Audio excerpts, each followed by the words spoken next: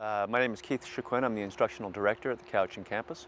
You're looking at the Cowichan Trade Center, and the name uh, Cowichan Trade Center is indicative of the partnerships uh, present in the, in the current facility. The Cowichan School District is our uh, primary partner. As well, we are partners with Cowichan Tribes, uh, our primary First Nation partner.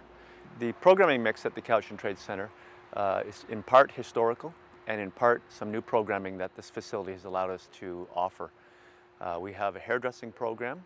Uh, again, most of those students are dual credit high school students studying college program. We have two sections of heating, ventilation, air conditioning, refrigeration, HVAC. We have uh, a section of carpentry, and we have two brand new sections of welding.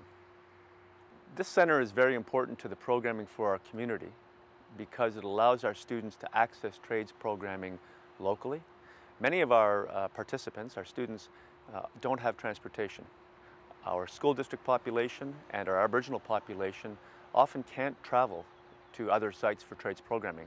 So even places as close as Nanaimo and Victoria uh, limit their opportunities. Those students uh, are really excited about the opportunity to find uh, programming that will allow them to find employment, both locally and outside of the local community. Uh, this site has offered us the opportunity to also expand into some other critical programming.